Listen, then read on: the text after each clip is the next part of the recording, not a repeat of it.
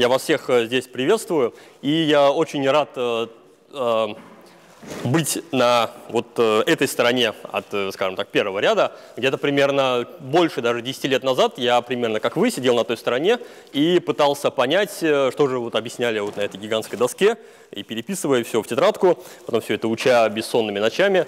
А теперь мне приятно выступать в роли лектора и рассказывать уже вам какие-то вот а, подобные вещи, ну или, может быть, э, какие-то немного другие вещи, неважно. А, меня зовут Эдвард Мусаев, вам э, уже сказали об этом, и я сегодня хотел бы вам рассказать о физике высоких энергий и о том, то есть о физике частиц, элементарных частиц, о самых э, малых масштабах нашей Вселенной и о том, как работает теория струн на этих малых масштабах. Вообще, какого, какую роль э, играет теория, называемая э, теорией струн, э, во всей этой деятельности. В текстах пирамид говорится, что небо — это богиня Нут, которая склонилась над нами, и вообще здесь она женщина, но она может быть еще и коровой. Под ней земля — это бог Геб, который является ее сыном по совместительству, ее мужем по совместительству братом, а э, посередине воздух, который олицетворяет бог Шу, который является сыном богини Нут. А по небу плывет бог Ра в лодке. Это бог Солнца. Вот такая картина мира существовала примерно 5000 лет назад в Древнем Египте. И можно, как можно заметить, картина мира не самая детализированная и не самая, наверное, полезная а, в практической деятельности. Э, после человек э, начал э, пытаться делать картину мира более рациональной, более детализированной, и появилась греческая философия, в которой люди начали думать, из чего все-таки состоит этот мир, из чего состоит вещество, из чего состоят, состоим мы с вами, и небо, и земля. И вообще разные они или нет. Так вот, Аристотель говорил, что мир состоит из пяти стихий, Платон говорил, что мир состоит из, все вещества состоят из таких вот э, геометрических фигур. Причем у него была очень интересная идея.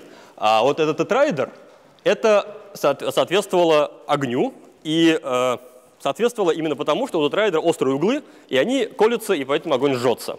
А у, э, кто тут следующий, октайдер э, соответствовал воде. По его представлениям, октайдеры вот они так устроены, что они друг относительно друга скользят, и поэтому вода течет. Не особенно ясно, почему вода не колется, потому что углы здесь такие же, как у октайдера. Ну, это на совести Платона. Э, Демокрит сказал, что все состоит из атомов. И как мы видим, у каждого было свое мнение, и э, в какой степени это каждое из этих мнений э, обосновано, не очень понятно, потому что в то время науки еще не существовало, существовала философия. Примерно в 17 веке появилось понятие науки, которая появилась э, с приходом на арену Галилея с его экспериментами. И на основе экспериментов Галилея Ньютон, Лейбниц, э, Гук, Гюгенс и другие великие ученые 17 э, века создали классическую механику понятие сил, понятие скоростей и так далее. Что самое интересное, Ньютон а, создал теорию всемирного тяготения и сказал, что небо — это то же самое, что Земля. Что Луна — это не кусок сыра, это не эфир, это такой же камень, как вот по которому мы ходим. Он подчиняется тем же самым законам, которым подчиняются мы, которые ходим по Земле. А, следующий, кто в дальнейшем начал объединять взаимодействие, был Максвелл и Пуанкаре, а, которые объединили электрическое и магнитное взаимодействие. Ну, Максвелл объединил электрическое и магнитное взаимодействие а, в единое электромагнитное взаимодействие концепцию поля. И эту концепцию поля дальше развивали Понкаре, Эйнштейн, и все это закончилось известной вам теорией относительности. Ну или, может быть, не очень известной, но наслышаны вы о них должны быть. И ввели понятие искривления пространства. Вот. Это э, на состояние XIX века, конца XIX века, начала XX века. Что же мы знаем о взаимодействиях сейчас? Сейчас мы можем с уверенностью утверждать, что э, все взаимодействия, точнее все явления, которые мы можем наблюдать вокруг нас, они э, все э, основаны на четырех взаимодействиях. Это электромагнитное, слабое, сильное и гравитационное. Электромагнитное взаимодействие отвечает за химические явления, все любые химические реакции, это всегда электромагнитное взаимодействие, или за электричество, молния, все что угодно, батарейки в смартфонах, свет, это все электромагнитное взаимодействие. Слабое взаимодействие отвечает за э, радиоактивный распад, который проявляется либо в ядерной бомбе, например, либо в ядерном реакторе, в зависимости от того, насколько мы контролируем этот процесс. Э, сильное взаимодействие отвечает за удержание э, кварков и внутри протона нейтрона или протонов нейтронов внутри ядра. Гравитационное взаимодействие отвечает за э, взаимодействие между массивными телами, между массами. То есть притягиваются массы. В электромагнитном взаимодействии притягиваются заряды, в массы. Что интересно о этих вза э, взаимод... в этих взаимодействиях, это то, что вот эти вот два, которые объединены э, зеленой рамкой, электрическая, электромагнитная и слабая, объединены в одно. Если за это дали Нобелевскую премию, примерно в 70-х, по-моему, годах были эти работы, когда Вайнберг, Салам Глэшоу объединили два взаимодействия в единый электрослаб. То есть на больших энергиях, порядка э, сколько сотни ТЭФ пусть будет, э, вот эти взаимодействия, они неотличимы друг от друга. Примерно как вода в тройной точке, она превращается в такое состояние, где мы не можем отличить ее от газа или от, от пары или от льда. Это одно состояние. Изменяя температуру, можно получить лед, воду и так далее, а здесь, изменяя температуру, можно получить электромагнитное или слабое, а вместе они электрослабые. В черной рамке взаимодействия не объединены. То есть это сильное взаимодействие, пока неизвестно, как получить такую же вот красивую картину, как с электрослабым взаимодействием. Оно как бы стоит отдельно, но тем не менее они объединены в одну рамку, потому что это все три квантовые взаимодействия. Мы знаем, что наша природа, наш, наш физический мир вокруг нас до, обязан подчиняться, точнее, подчиняется квантовым законам. То есть мы обязаны использовать квантовые законы, квантовую механику, квантовую физику для того, чтобы описать взаимодействие э, вокруг нас. И вот с этими тремя взаимодействиями это получается, с этим это не получается. Гравитация, а, квантовая гравитация не построена. А проблема в том, что если мы возьмем вот этот вот а, метод, который мы строили квантовые взаимодействия здесь, попытаемся его применить в гравитацию, то получим нонсенс. Получим какие-то бесконечные вероятности, расходимости и всякую ерунду. Э, с ерундой жить нельзя, поэтому э, пытаются люди построить какую-то более вменяемую теорию квантовой гравитации, Возможно, она будет построена на основе теории струн. Ну, точнее, уже сейчас известно, что теория струн дает нам какое-то вменяемое понимание квантовой гравитации. И вот а, сегодня я попытаюсь в какой-то мере, э, понятно или не очень, объяснить, э, во-первых, какая проблема с квантовой гравитацией, э, и, во-вторых, как ее теория струн решает. Ну и в-третьих, какие следствия из теории струн, как ее можно вообще применять, и а почему, э, вы, почему я хочу, чтобы вы ее у меня купили, теорию струн. Э, но перед этим э, интересно посмотреть, какие вообще инструменты люди использовали для того, чтобы вот эту всю картину мира, которую я вам э, пересказал, получить.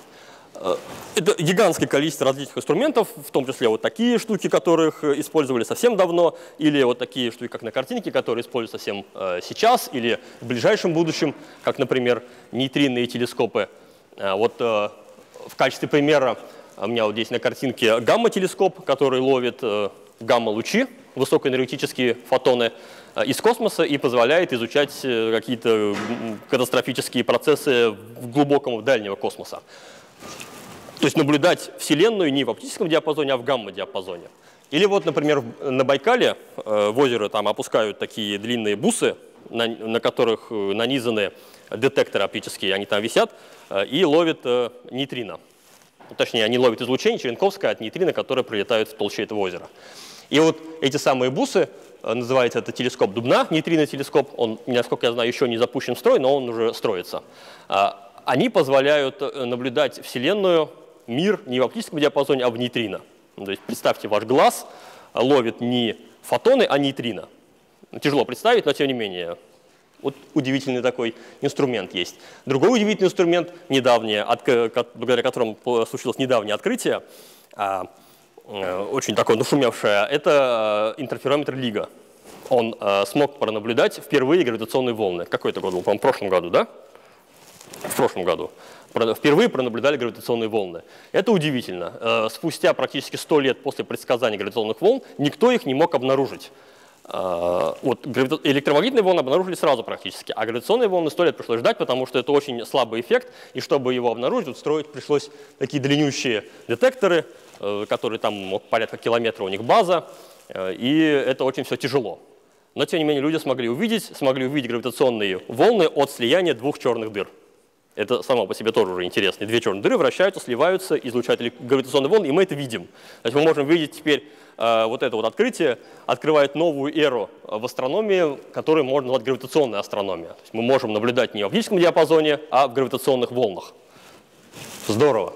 Это что касается наблюдений дальнего космоса. Но мы можем то же самое делать на лабораторном столе.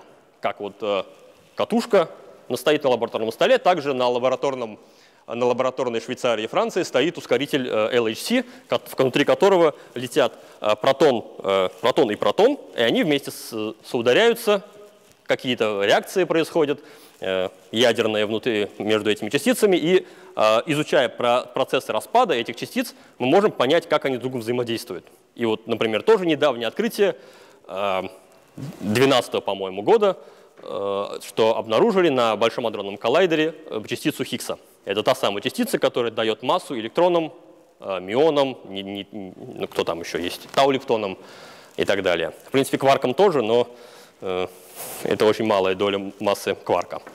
Вот такие вот инструменты используют люди для того, чтобы наблюдать Вселенную. Какие же частицы понаблюдали? Э, какие частицы мы имеем в настоящий момент в распоряжении? Э, всего их получается 17 штук если считать по этой таблице. А, вот у нас в первой части 6 кварков, различных кварков, из которых можно собирать протоны и нейтроны, а, каппа, мезоны, различные гипероны и прочие резонансы сильные. Здесь у нас лептоны, так называемые, из них три э, массивные, электрон, мион и тау, и три тоже массивные, но их масса гораздо меньше. Это нейтрино, электронные, мионные, тау-лептонная. Вот эти красные — это частицы, отвечающие за взаимодействие. То есть вот Глюон отвечает за сильное взаимодействие. Это те самые пружины, которые э, связывают э, два кварка. Фотон — это вот просто свет. Вон из лампочки фотоны летят один с другим. Э, Z-бозон, W-бозон — это слабое взаимодействие. И, наконец, есть бозон Хиггса, который отвечает за массу, который э, в некотором смысле вокруг частицы э, налепляются части, э, бозоны Хиггса и образуют такой ком, и она из-за этого движется медленнее. То есть у нее как бы появляется масса. Так можно представить себе, когда звезда какая-нибудь великого высокого уровня заходит в комнату, наполненную фанатами, ей очень э, тяжело дойти до э, противоположного конца комнаты, потому что она начинает очень интенсивно взаимодействовать с фанатами. Каждому надо подписать, каждому надо что-нибудь сказать или сказать, что я не буду подписывать и так далее. Вот примерно так. Ну и еще есть гравитационное взаимодействие и гравитационные волны. Гравитон еще не обнаружили, строго говоря, но вообще, вообще говоря, гравитационные волны должны соответствовать гравитону. То есть после, взаимодействия, после обнаружения гравитационных волн можно считать, что да, мы обнаружили гравитоны. Вот можно сюда еще гравитон засунуть. Вот как видите, у нас 17 частиц, а, у каждой, а, но чтобы построить а, аудиторию, которую мы видим вокруг нас, вас, стол, меня, нужны вот эти два и электрон, и фотон. Ну, давайте не будем считать взаимодействие. Вот эти три частицы только нужны, чтобы построить нас всех. Из кварков У и D я строю протоны нейтроны и наматываю электроны на это ядро. Все. Возникает вопрос, а для чего нужны остальные? Это не очень ясно, э, в том смысле, э, понятно, как они взаимодействуют, понятно, как они влияют на эволюцию Вселенной, а, но непонятно, почему они именно такие. Почему их именно столько, почему у них массы такие, почему у них заряды такие, спины и так далее. Почему их не может быть больше, например, или меньше. Вот совершенно точно понятно, что нейтрин только три, но вдруг там может быть еще одно нейтрино, которое мы не видим, которое занимается как-то по-другому совсем. Так что это не ломает наши эксперименты. А, вот на такого сорта вопросы теория, называемая стандартная модель, ответить не может. И предполагается, что теория под названием теория струн ответить на такие вопросы сможет. И я вам расскажу о том, как она, э, скорее всего, отвечает на этот вопрос. Но э, это тоже не, э, не, такая простая, не такая простая задача ответить. Если мы будем включать суперсимметрию, которая дополнительная симметрия между частицами, которая требует существования для каждой частицы дополнительного э, суперпартнера, так называемого, для электрона с электрон, для кварка с кварк, очень простая схема, да? Э, тогда количество частиц увеличивается во много раз, и число параметров стандартной модели получается примерно 100. То есть перед нами пульт Вселенной, на которой много ручек, и на каждой ручке написана масса электрона, масса протона. И их нужно поставить строго в определенное положение все, э, чтобы наша Вселенная эволюционировала. Возникает вопрос, почему они, кто их поставил в это положение, почему они стоят в этом положении, и можно ли найти такую теорию, в которой будет только одна ручка, и которая сама ставит в нужное положение, ну или хотя бы, чтобы ее никто не трогал, можно ее просто поставить в одном положении. Ну и предполагается, опять же, э, наша теория струн будет это делать. Давайте посмотрим сначала на стандартную модель. Вот стандартная модель – это такой вот, такая гигантская формула, она здесь не полностью, она вот здоровенная такая портянка э, с надписями, в которой все закодировано, как там электроны взаимодействуют, как э, глюоны взаимодействуют. Вот первый член, например, это глю, для глюонам соответствует. Можно поискать еще для, вот для Хиггса есть член и так далее. Они там, они там все есть. Э, ну, видно, что это не самая простая теория, но, тем не менее, она, она сознательно человек написал ее именно в таком виде. Для, э, за ней стоящие принципы, они более простые. А, и эта теория на самом деле хорошая, несмотря на то, что она такая вот длинная очень. И она описывает электрослабое взаимодействие, она описывает э, амплитуду рассеяния частиц с гигантской точностью. Например, она, э, вот эта вот модель, она э, предсказывает аномальный магнитный момент электрона до 12 по-моему, знака после запятой. То есть какая-то совершенно невообразимая гигантская точность, с которой мы можем проверять эти самые взаимодействия на наших ускорителях. Также она предсказала бозон Хиггса, то есть чтобы стандартная модель работала согласно тем самым принципам, которые в нее заложены, совершенно необходим был, э, был бозон Хиггса. Это было понятно примерно там с 70-80-х годов, а то и раньше, что бозон Хиггса там должен быть. И вот все это время их искали, в 2012 году его нашли. И настолько это было ожидаемо, что люди даже не особенно удивились. После того, как люди говорили, что да, бозон Хиггса нашли, сначала, а, да, да, да, ну, в принципе, да ну, ожидаемо было, что он там есть. Ну, там Нобелевскую премию дали и так далее. Но у этой э, теории есть и проблемы. во-первых, она не, содержит гравитации, не существует квантовой гравитации. Э, нет описания каких-то, есть какие-то технические проблемы, например, что она не описывает термодинамику черных дыр. Про это мы будем рассказывать. Так как там, очевидно, нет, так как там нет гравитации, то очевидно, что она не может описывать черные дыры. Э, она не включает темную материю. Это уже очень важная проблема, потому что мы знаем, что э, вещество в виде темной материи в нашей Вселенной в пять раз больше, чем того, веще того вещества, которое мы видим. Это звезд, планет. Его в пять раз больше, но тем не менее мы понятия не имеем, что это такое. В секунду через, через, в, в этой комнате огромное количество темных, э, частиц темной материи, они все проходят через нас, и мы опять же понятия не имеем, кто это такие.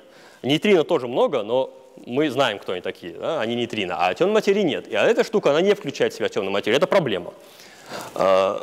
Она также не может описать темную энергию, не может описать э, момент большого взрыва, потому что в момент большого взрыва плотности и температуры настолько высокие, что нам одновременно нужна гравитация э, и э, квантовая, квантовая физика. Как так нет квантовой гравитации, то мы не можем использовать э, эту теорию. Ну и там дальше есть какие-то технические, технические проблемы, типа иерархии масс, почему вот массы именно так выстроены, э, в определенном смысле можно так сказать про, про эту проблему. Э, эта проблема тоже не решается в рамках этой модели, обычной стандартной модели. Отсюда из всего этого можно сделать простой вывод, что нам необходимо фундаментальное, непротиворечивое описание мира –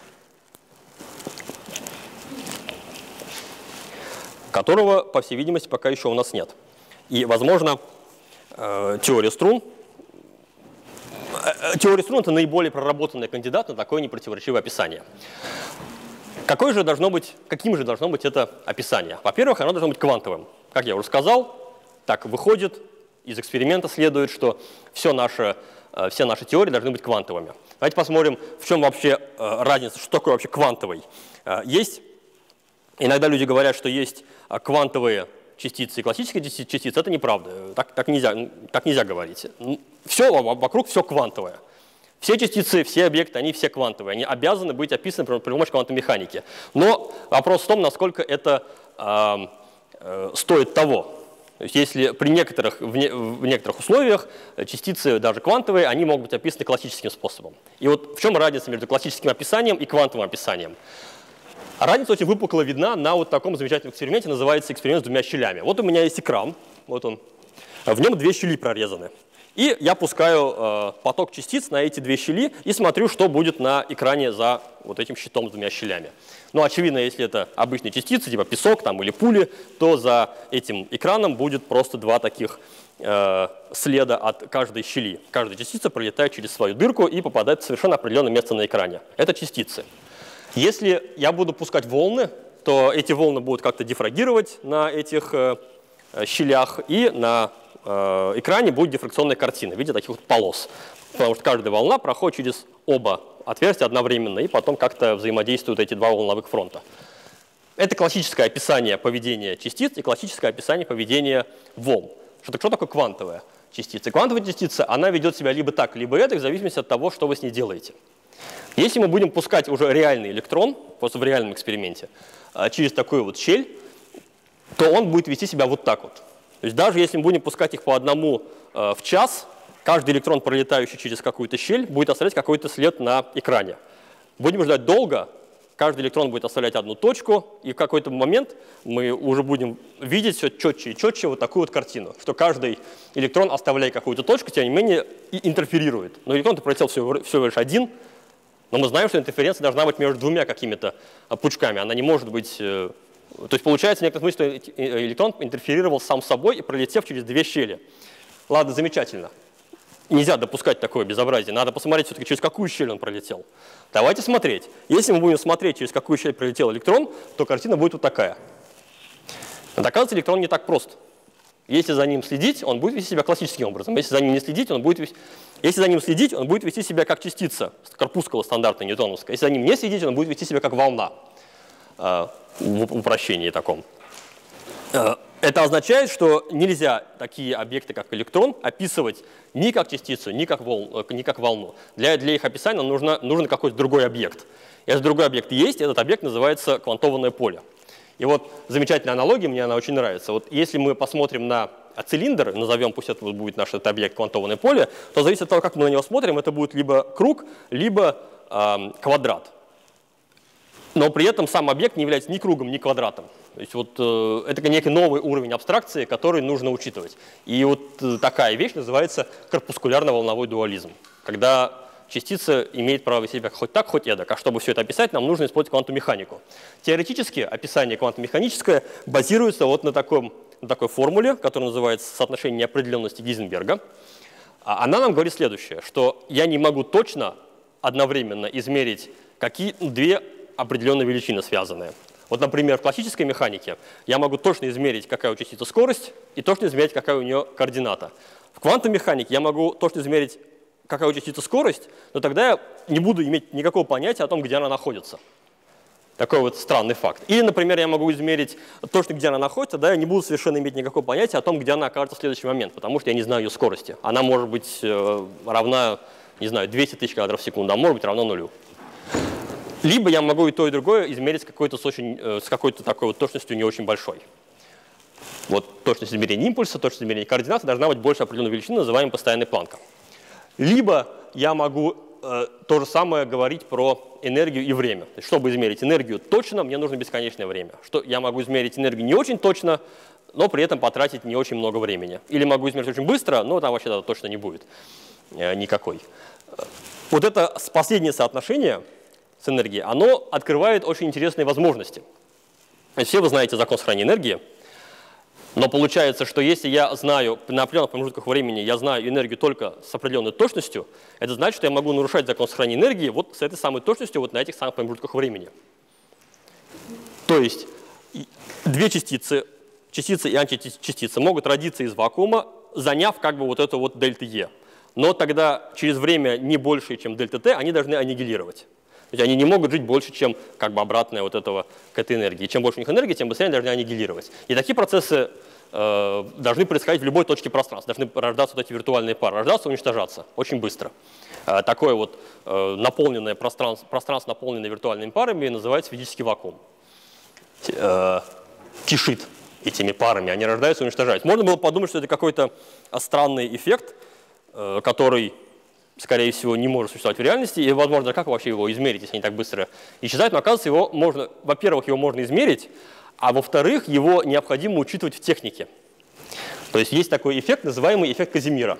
А, это Хендрик Казимир, это фамилия Казимир. А, Хендрик Казимир, а, он рассмотрел такую систему. Две пластины, из проводящего или непроводящего материала совершенно неважно, они не заряжены, они никак друг друга не притягиваются никакими другими э, способами, кроме как вот, которые я сейчас расскажу. Две пластины. Э, справа и слева от этой системы, из двух пластин, они очень близко, э, пространство никак не меняется, и поэтому виртуальные пары ведут себя там ровно так же, как они вели себя и до этого в отсутствии пластин. Но между пластинами пространство другое, потому что у него существуют эти границы. И тогда виртуальные пары между пластинами рождаются по-другому. Их там рождается меньше. То есть это можно показать, что вы мне просто поверьте, что их там рождается меньше. И так как их там меньше, то давление виртуальных пар снаружи на эти пластины будет больше, чем изнутри. Они будут пытаться схлопнуться. То есть будет возникать какая-то сила, называемая сила Казимира, которая будет эти пластины пытаться друг друга притянуть. И эту силу люди учитывают при конструировании наномашин. Это, а сила очень маленькая, нужно очень близко друг друга пластины расположить. И именно такая ситуация происходит в наномашинах. Там такие движущиеся части. И чтобы эти части двигались без помех, нужно э, учитывать в жесткости конструкции, учитывать, что на них будет действовать дополнительная сила Казимира. Иначе они просто слипнутся и не будут э, никак ходить.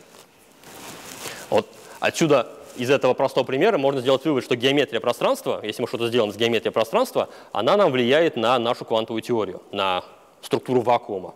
Другой очевидный способ э, испортить геометрию пространства – сунуть в нее черную дыру.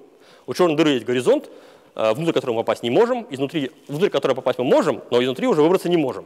И вот из-за наличия этого горизонта э, возникает такое явление, как излучение Хокинга. То есть представьте горизонт, э, недалеко от горизонта рождается виртуальная пара, одна пара падает внутрь, другая пара летит наружу. Э, Одна частица из этой пары падает внутрь, другая частица этой пары летит наружу. И для далекого наблюдателя, который висит на бесконечности от черной дыры, ему кажется, что от нее летит какое-то излучение. Вот это излучение называется излучение Хокинга. Вот эти э, красные штучки – это излучение Хокинга. Э, интересная характеристика этого излучения – то, что оно тепловое. Черная дыра излучает тепловое излучение, как нагретый э, кусок камня. Причем буквально, даже лучше, чем кусок камня, потому что оно излучает как абсолютно черное тело есть такое понятие термодинамики, абсолютно черное тело. Э, и температура вот этого излучения, она обратно пропорциональна массе. Ну, понятно, так как масса черных дыр обычно очень большая, то э, температура такого излучения будет очень маленькая. Ну и примерно действительно там порядка десятков, десятков Кельвин, не такое, не, не такое большое. Но чем масса меньше, тем температура излучения будет выше, и интенсивность излучения будет выше. С этим связан парадокс. А парадокс состоит в следующем. Если у нас есть энтропия, то согласно, если у нас есть термодинамика, э, которой мы э, описываем вот эти тепловые процессы, она нам говорит следующее. Эм, если у тела есть температура, то эта температура связана с какой-то энтропией. А э, энтропия – это такое, такая величина, которая характеризует систему, состоящую из большого числа частиц или из большого числа компонент. Э, об этом будем говорить подробнее. Но в черной дыре только одна компонента – это черная дыра. И возникает вопрос, что значит температура вот этой вот штуки? Ее нельзя нагреть. Мы знаем, что камень нагрет, потому что там молекулы начинают сильнее колебаться. В черной дыре нечему колебаться. Это сингулярность, вокруг нее горизонт. И этот вопрос стоит, и он открыт до сих пор. И вот мы подробнее про него поговорим, как возможно его, э, во-первых, как формулируется точнее этот парадокс, и, во-вторых, как его можно разрешить в рамках теории струн. Один из способов. А пока посмотрим на геометрию самого пространства. До этого мы портили геометрию, засовывая в них э, плоскости или черные дыры, а теперь посмотрим на геометрию самого пространства. Есть попробуем применить э, способ, вот эту вот концепцию квантования, принцип неопределенности Гейзенберга э, к самому пространству.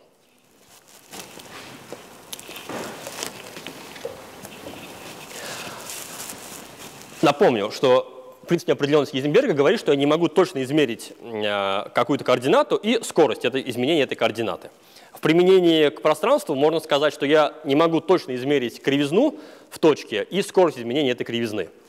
А, и это приводит э, к такому, э, вот такой картине на очень малых расстояниях, что если мы будем увеличивать разрешение наших микроскопов в каком-то абстрактном смысле, то на очень малых масштабах геометрия ведет себя безобразным образом. Там появляются дырки, какие-то пики такие, каспы, я не знаю, ручки и прочее. То есть это перестает быть такой ареной, э, плоской или немножко искривленной, гладкой ареной действия наших взаимодействий. Это становится как бурлящим непонятным потоком э, кривизн и различных дефектов. И в чем же проблема? Проблема в следующем. Если я рассмотрю распад частиц, например. Вот у меня летела частица, пусть у меня эта ось времени будет, летела частица, и вот в какой-то момент времени она распалась на две. И оказывается, если вот эта точка распада, где эта частица распадается, попадает на один, на один из этих дефектов, то э, теория рушится. Ну, этому есть какие-то технические причины, это, наверное, не так очевидно, и это вообще не очевидно, но э, это вот такой факт, что есть, когда точка попадает на какую-то на какую-то особенность, то э, такое, такая теория не может э, работать. Решение этого этой проблемы, это техническая принцип, проблема, и решение этой проблемы оказывается довольно концептуальным. То есть приходится полностью переработать э, концепцию физики элементарных частиц. И вместо точных объектов, ну понятно, если у нас здесь точка, давайте рассмотрим вместо точных объектов объекты протяженные, например, струну. Вот у меня струна летит, вот она, значит, в какой-то момент времени такая вот, такой, э, резинка такая, а потом она со временем летит и постепенно начинает так сжиматься и раздваиваться на две, на две штуки. Получается такие вот штаны. Вот в этом месте она развалилась на две. Э, радость от такой конструкции, точнее вот ее преимущество, э, состоит в том, что точка конкретно, где вот они соединяются, зависит от того, как вы проведете плоскость. Вот эта плоскость, она иллюстрирует плоскость наблюдения. Здесь, независимо, как вы ее проведете, она всегда будет проходить через одну точку. А здесь а точка, где распадаются, как пространственно-временная точка, где распадаются струны конкретно, она зависит от этой плоскости. И поэтому она в некотором смысле размыта, и так, такая струна, она не видит все вот эти вот э, особенности на пространстве, она их сглаживает. И вот именно поэтому э, в теории струн взаимодействия могут быть э, совмест, совместимы с квантовой гравитацией. Это, до этого мы просто взяли и проквантовали гравитацию стандартным образом, получили ерунду. И увидели, что физика частиц на таком пространстве существовать не может. А здесь же мы взяли вместо точных частиц струны и увидели, что струна, да, может спокойно жить на таком пространстве, и все отлично. Но тогда вопрос возникает, но мы же все-таки видим частицы. Что же такое тогда частицы в такой теории? Это, ответ на этот очень, вопрос очень интересный. Наверное, больше половины из вас знают. Э, оказывается, каждый а, отдельный способ колебания струны можно, каждому отдельному способу колебания струны можно сопоставить какую-то частицу. То есть те, кто на гитаре играл, знают, что если я возьму струну, вот она натянута у меня на гитаре, я могу ее открытую струну э, дернуть, могу взять флажолет на разных ладах, пятый, седьмой, девятый, двенадцатый, и каждый э, этот флажолет будет звучать по-разному. Но сама струна не изменилась изменились только способы колебания. И вот а, здесь буквально ровно та же самая ситуация. Струна, каждая отдельно взятая струна, может колебаться разным образом. А, и разные способы колебания этой струны дают разные частицы. То есть, как это понимать? Допустим, давайте, вот струна, колеблющаяся так, пусть у меня будет электрон, струна, колеблющаяся так, пусть у меня будет позитрон. А этот пусть будет фотон. Тогда э, дело стоит следующим образом. Я вот этот кусок штанины заставляю колебаться так, этот кусок штанины заставляю колебаться так. Теперь время пусть смотрит вниз. Со временем они летят друг навстречу друга, и просто рассчитывая э, вот соответствующие какие-то математические вычисления производя, я убеждаюсь, что вот этот кусок штанины после того, как эти соединились, колеблется ровно вот так, ровно как фотон. И я говорю, ага, действительно, электрон и позитрон, соединявшись вместе, дают мне фотон. И это ровно то, что я вижу на эксперименте. И получается, что одна теория, в которой нет никаких частиц вообще, э, есть только струна, там есть открытая или замкнутая струна, такая в виде колечка или в виде просто линии. А, она описывает все частицы вообще. Она, и в зависимости от того, как они колеблются, э, она, э, соответствующие колебания будут иметь разную массу, разную, разный спин, разную четность, все что угодно. То есть такая теория, в принципе, способна нам ответить на вопрос, почему массы такие, почему спины такие. Э, так люди думали э, в 80-х годах примерно. Оказалось, что все не так просто.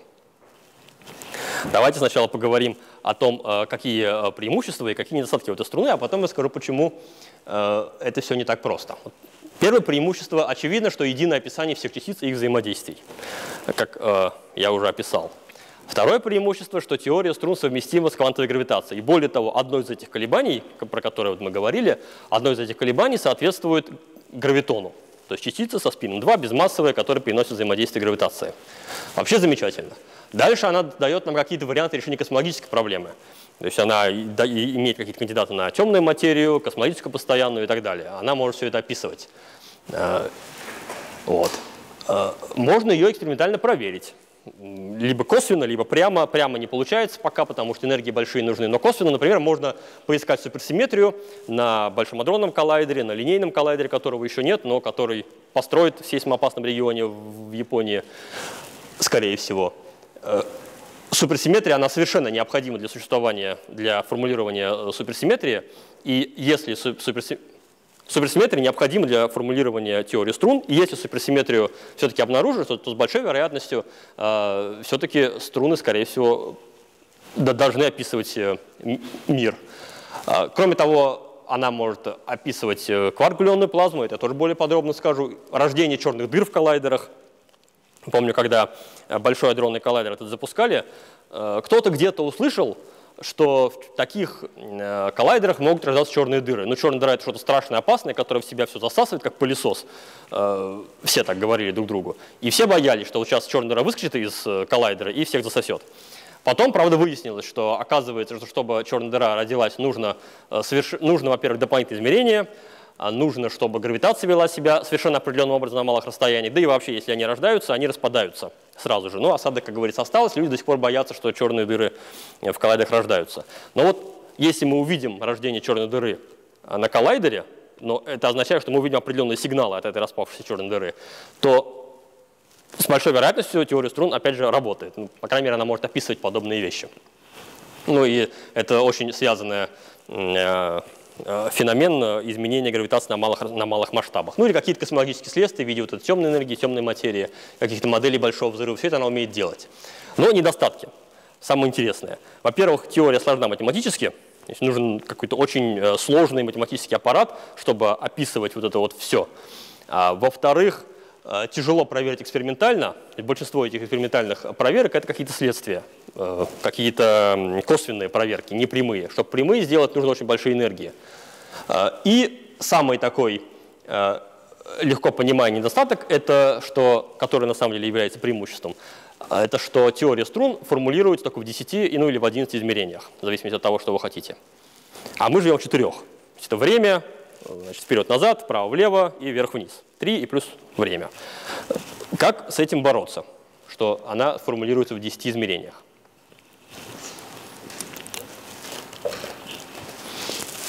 В начале 20 века, а, в 19 году, Теодор Калуца предложил объединить э, теорию электромагнетизма и теорию гравитации очень элегантным способом. Он сказал, давайте рассмотрим обычную Эйнштейновскую теорию гравитации в пяти измерениях. Э, и э, вот это дополнительное измерение в некотором смысле выкинем как, каким-нибудь образом. Тогда результирующая теория в четырех измерениях будет давать нам буквально теорию Максвелла электромагнитную и обычную четырехмерную теорию гравитации. Ну, по каким-то причинам это не, это не работало, э, но ну, не, ну, неважно. Главный вопрос был в том, что делать с пятым измерением. Вот, что значит, каким-то образом мы его выкинем. И вот в 26 году Оскар Клейн, э, он сказал, а давайте, пусть это измерение будет очень маленьким, компактным. Ну, какая здесь э, идея? Довольно простая. Возьмем лист бумаги, у него есть два измерения, значит, высота и ширина. И начнем его закручивать в такой цилиндр. И вот это дополнительное измерение, которое здесь было таким вот длинным, бесконечным, оно стало здесь таким вот э, в виде кружочка, конечного радиуса, конечной длины, периметр 2πr у него.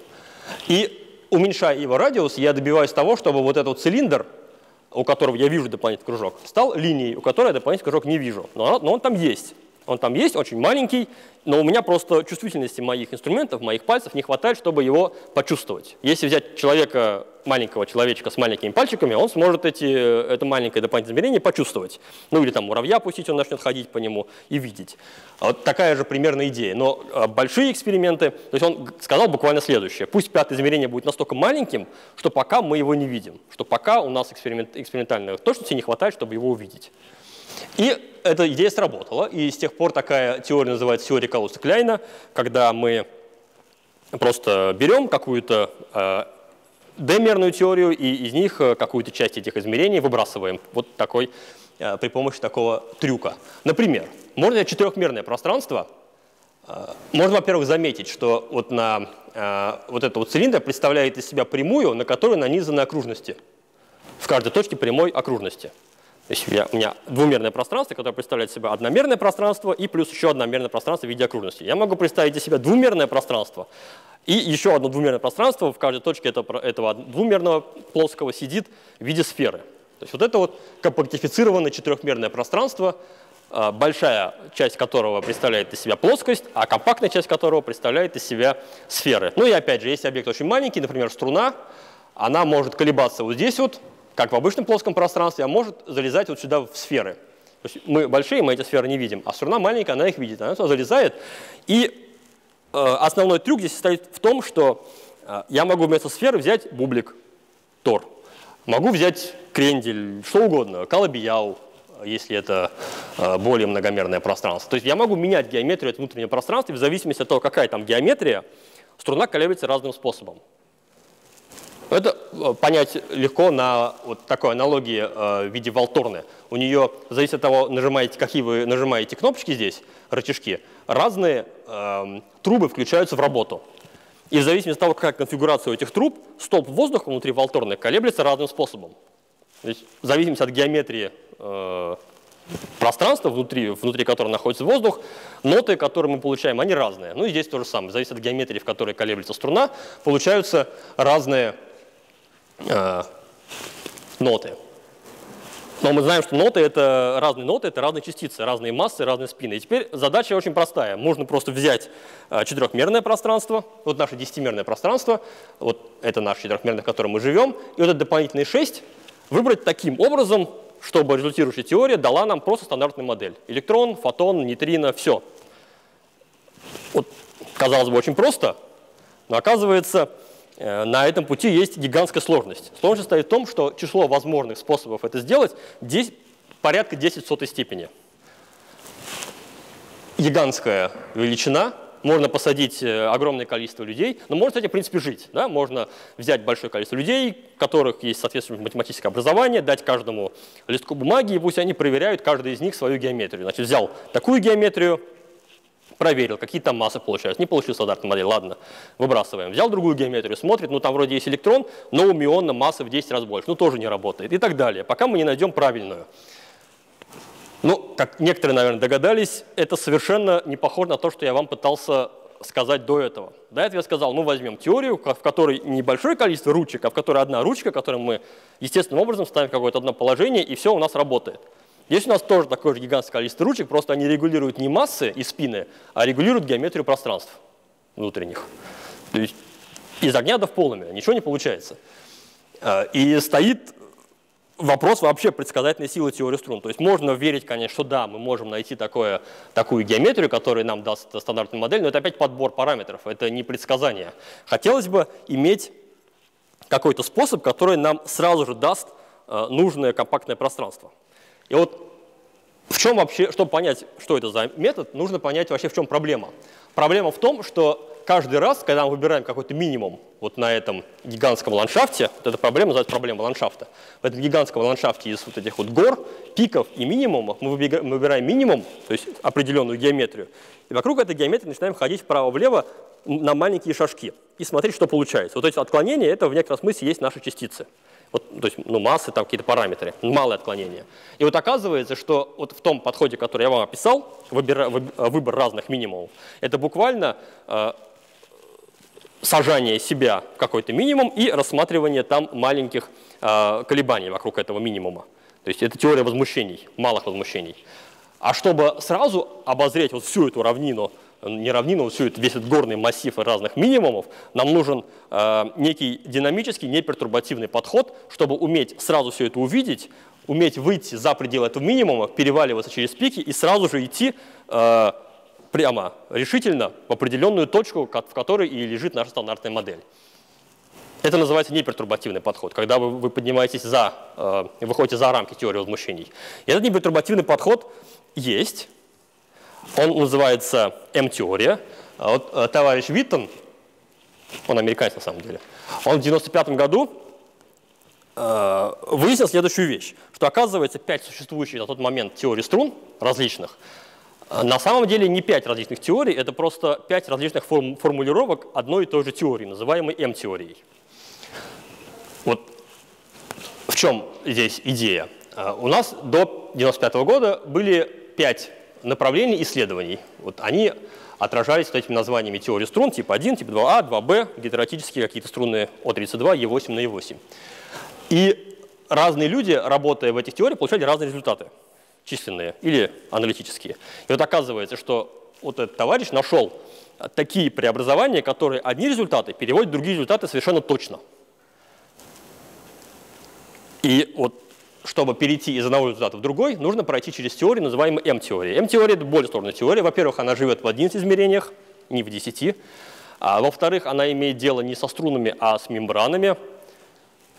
Ну и там много что. Ну, например, она очень плохо проработана. Единственное, что мы про нее знаем, это про М-теорию, это что э, при низких энергиях она нам дает 11-мерную супергравитацию. Э, ну, это, наверное, более-менее все. Ну, там мы знаем, что есть еще там двумерные браны, пятимерные браны и все. Э, с такой теорией тяжело работать, но вот люди сейчас, вот это как бы э, можно считать основ, одним из главных, одним из основных направлений исследования вот в этой струнной, в этом струнном комьюнити, которое сейчас происходит. Это вот изучение М-теории. И тем не менее предполагается, что М-теория даст какие-то результаты, но она уже какие-то результаты дает. Э, и давайте посмотрим, какие результаты получились э, при совместном использовании вот этой М-теории, для которой, в принципе, даже уравнения движения э, не написаны. Вот аналог уравнения Ньютона. Да? Попробуем понять, какие вообще результаты уже есть при совместном использовании концепции М-теории и вот вычисления, которые мы можем проделать в теории струн.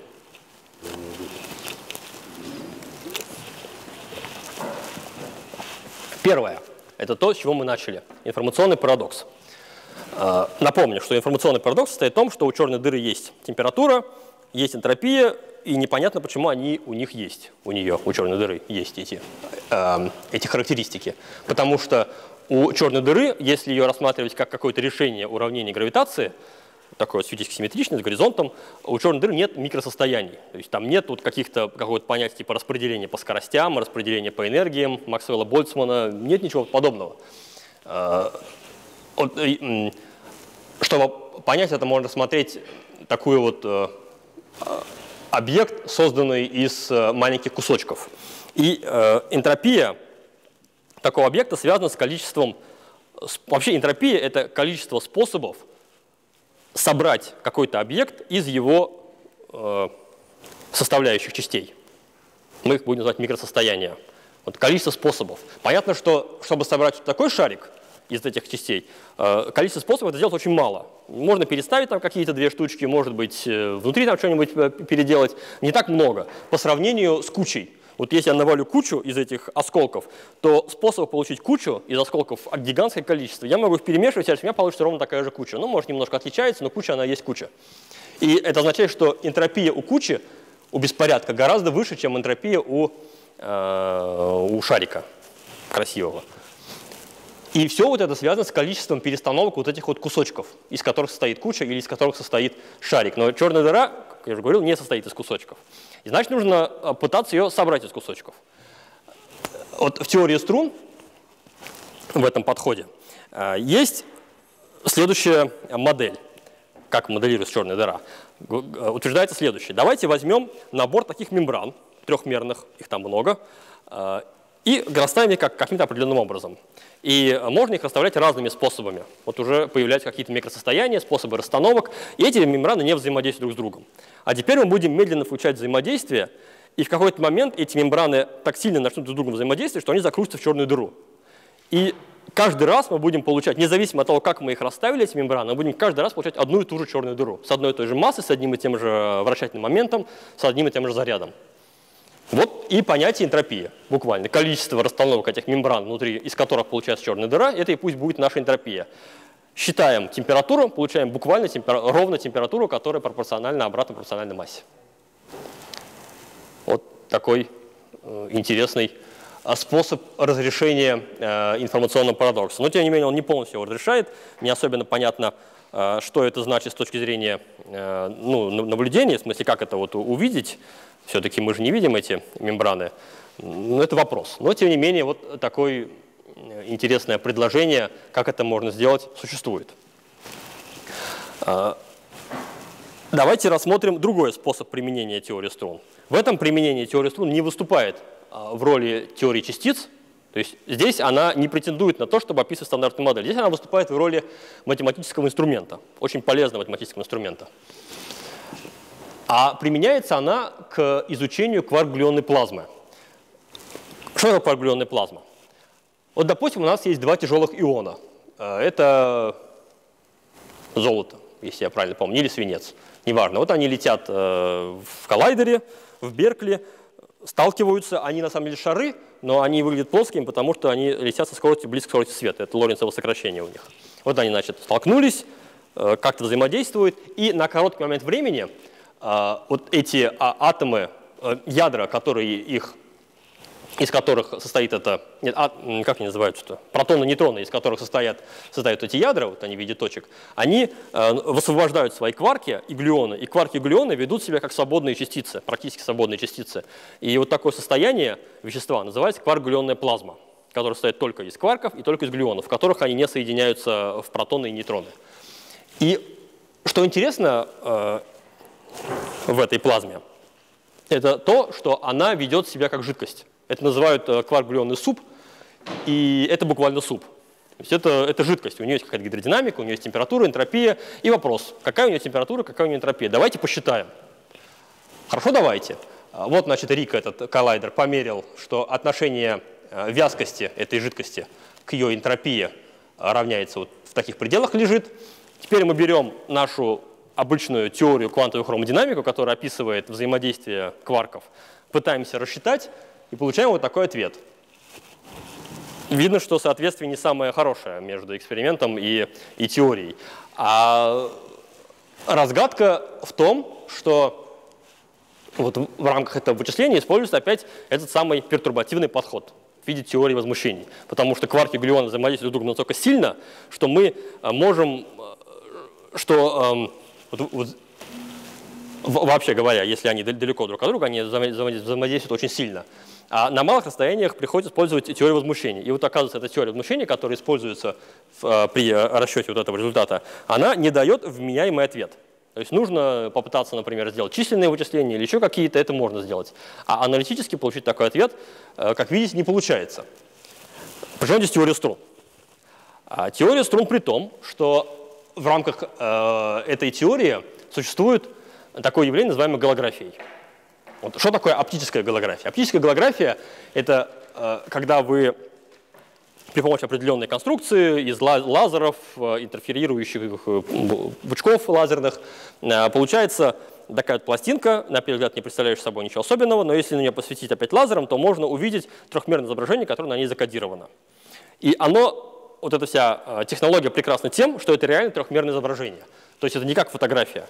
А, вот это э, два, вот, две вот этих картинки, это одна и та же пластинка, одна и та же пластинка, но э, сфотографированы под разными углами.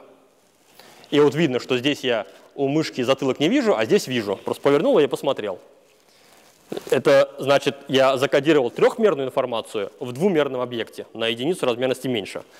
Но э, эта голография, она, струнная голография, она еще как бы более точная э, вещь, в том плане, что если я эту пластинку разверну, я не смогу увидеть э, спину мышки с другой стороны. Я просто увижу, я не знаю, что я там увижу, наверное, то же самое, либо зеркально отображенное. Чтобы увидеть прямо вот полностью, нужно каким-то образом это специально организовывать. А теория струн говорит следующее. Если мы возьмем из 10 измерений только 5, остальные 5 выкинем, они будут на сферы, это не важно, возьмем только 5, эти пять измерений мы посадим на определенное пространство, оно называется пространство антидеситера, э, свойство которого нам, из, из свойств которого нам важно только то, что у него есть граница. Вот какое-то там пространство антидеситера, у него есть граница, она четырехмерная, само пространство пятимерное. И вот э, утверждается следующее, что теория гравитации, живущая в пятимерном пространстве, полностью эквивалентна при помощи определенного преобразования, которое существует только в рамках теории струн, полностью эквивалентна э, теории типа КХД, теории поля, живущей на вот этой границе. Что это означает? Это означает, что я могу что-то посчитать э, в теории гравитации в пяти измерениях, что-то посчитать на границе в теории поля, например, вязкость. И э, эти две величины, они будут друг другу тождественно равны, хотя они будут означать разные вещи совершенно. Но более того, оказывается, что вот эта вот теория в пяти измерениях, когда она в слабо взаимодействующем режиме, то есть когда она практически свободная, когда я могу ее описывать теорию возмущений, она эквивалентна теории на границе в сильном режиме, то есть в непертурбативном, то есть когда нельзя использовать теорию возмущений. И получается, вместо того, чтобы пытаться использовать теорию возмущений там, где ее нельзя использовать, то есть на границе, я могу перейти в пятимерное пространство, там что-то посчитать в рамках теории возмущений и просто взять эту дуальность и увидеть. Э, то что, э, то, что мне нужно. И так и сделали. Взяли, э, сюда посадили какую-то КХД-подобную теорию на границу, посмотрели, что будет внутри, посчитали ту самую величину, которая соответствует вязкости, получили вот такой результат в рамках вот этого АДС КТП соответствия. Ну и видно, что он гораздо лучше соответствует, объясняет, ну или как бы гораздо ближе к экспериментальным результатам. И это касается, такой метод, он работает не только для, для кваргулярной плазмы. Так можно вычислять какие-то эффекты, связанные со сверхпроводимостью. Э, сейчас ведутся работы, э, попытки объяснить при помощи такого вот соответствия высокотемпературной сверхпроводимости. Ну, хотя бы не объяснить, а посчитать что-то. Там, не знаю, переходы, попытаться хотя бы предсказать, например, если интересуют какие-то совершенно прикладные вопросы, предсказать, какие свойства должны быть у вещества, чтобы оно переходило в сверхпроводящее состояние, например, при каком-то температуре. И вот люди пытаются построить такие э, вычисления и делать такие рассуждения в рамках вот такого вот подхода. То есть это совершенно утилитарный подход, но в рамках этого подхода, опять же, теория струн выступает не как теория частиц. Здесь мы не думаем, что реальная теория струн описывает стандартную модель. Здесь она выступает просто как математический инструмент. Просто вот в рамках соответствия. Она нам говорит, что это соответствует этому. Можно так посчитать. И третий пример, последний на сегодня – в котором все-таки теория струн выступает а, в роли э, теории всего, в роли теории частиц. А именно а, пример того, как в принципе можно э, описывать большой взрыв, как, э, какой смысл можно дать большого взрыва. Все мы знаем, что 15 миллиардов лет назад Вселенная родилась, из точки была эра расширения инфляционного очень быстрого, и потом дальше она пошла расширяться по Фридману обычным образом, стандартным и в это время э, рождались какие-то галактики и так далее. Возникает вопрос, э, что такое большой взрыв? Почему вот он произошел? Что это вот за процесс такой был? Понятно, что это не динамит подложили под Вселенную. Это что-то там, какой-то процесс был, вообще даже не взрыв. Э, один из способов это, этот процесс описать состоит в следующем. Давайте опять вспомним, что теория струн живет в 10 измерениях, а теперь мы их не будем компактифицировать. Мы скажем, что мы живем на такой трехмерной мембране. Вот 10 измерений у нас есть, и вот такая трехмерная мембрана, мы на ней живем. Мы не можем с нее улететь. Э, кстати, гравитация может. Это одно из объяснений, почему гравитация слабая. А, э, то есть во всем пространстве она сильная, а вот на этой мембране только она слабая. А мы вот не можем, мы сидим на этой мембране. Вот значит, мы сидим на этой мембране, и другая мембрана пусть будет очень тяжелая, что бы это ни значило, в каком-то смысле она тяжелая. Э, так она тяжелая, она, притя... она стоит на месте, она притягивает легкую мембрану, на которой мы все сидим, и в какой-то момент они соударяются и отскакивает. И вот э, можно каким-то образом увидеть, что вот этот момент соударения для той мембраны, на которой мы живем, для той физики, которая существует на этой мембране, очень похож на большой взрыв. То есть тоже инфляционное расширение, рождение каких-то галактических структур и подобные вещи можно там э, увидеть. И можно ожидать, э, в принципе, что она улетит на какое-то состояние, из-за притяжения попытается вернуться обратно и опять дальше будет э, туда-сюда ходить, ударяться, и такой вот циклический процесс.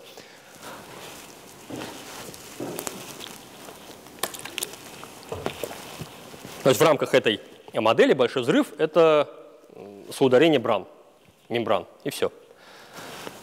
Что особенно интересно об этой, э, что особенно интересно в этой модели, это то, что она э, фальсифицируема. В принципе, как любая модель, на самом деле. Э, данный способ моделирования большого взрыва генерирует совершенно определенные характеристики микроволнового излучения. То есть вот недавно сколько, два года, по-моему, назад был эксперимент э, BICEP-2, который измерял поляризацию микроволнового фона нашей Вселенной и что-то там намерил. Потом, правда, выяснилось, что что неправильно интерпретируют результаты, но тем не менее, вот пока еще с момента, когда он намерил, и до того, как выяснилось, что мы не так их понимаем, было очень такой период большого возбуждения у людей, которые связаны с этой теорией, э, потому что те результаты, которые он намерил, ее полностью отменяли. То есть, э, если интерпретировать эти, э, этот эксперимент так, как, он, так, как его интерпретировали в, пер, в начале, то такая модель полностью неправильна. Часто вот говорят, что теория струн, она не фальсифицируема. Э, это неправильно. Ну, в смысле, это правильно, да, она не фальсифицируема, просто потому что она не является моделью. Потому что теория струн – это концепция. Это то же самое, что сказать, что, э, что теория поля не фальсифицируема. Да, есть общая теория поля, например, теория любого поля, векторного, скалярного, неважно, любого. Естественно, ее нельзя фальсифицировать. Нельзя проверить на эксперименте просто теорию поля. Можно на эксперименте проверить квантовую электродинамику, то есть теорию электромагнитного поля. Можно проверить теорию глюонного поля э, на эксперименте. Это, это разные модели. Вот независимо, несмотря на то, что они обе называют теорией, надо отличать между моделями и теориями. И вот модели фальсифицируемы, а концепции нет. И вот эта штука, это модель в рамках концепции теории струн. Вот эта модель фальсифицируема. И все остальные модели, которые в рамках теории струн появляются, они тоже все фальсифицируемы, естественно, потому что это наука, ребята. Иначе никак. Ну и давайте закончим э, таким вот слайдом, на котором я попробовал перечислить перспективные направления исследований, э, которые смог вспомнить. Например, наиболее такая вот э, горячая э, тема на сегодняшний момент – это э, поиски темной материи. Это экспериментальные поиски темной материи или теоретическое их описание. Ну, так как теоретические модели гигантское количество уже, то в основном люди сейчас фокусируются именно на экспериментальных поисках. Из экспериментов уже понятно, из тех вот экспериментальных данных, которые у нас есть, это кривые галактик, кривые вращения галактик, столкновение галактических скоплений, гравитационное линзирование – какие-то столкновения шаровых скоплений, я не знаю, огромное количество этих данных, и они нам точно уже говорят, что темная материя, практически стопроцентная вероятность, должна быть какой-то частицей. Это какой-то набор каких-то частиц, слабо взаимодействующих, взаимодействующих только гравитационно. Это не изменение гравитации, это не, э, я не знаю, какое-то изменение закона Ньютона или еще что-то в этом духе, это, скорее всего, это частица.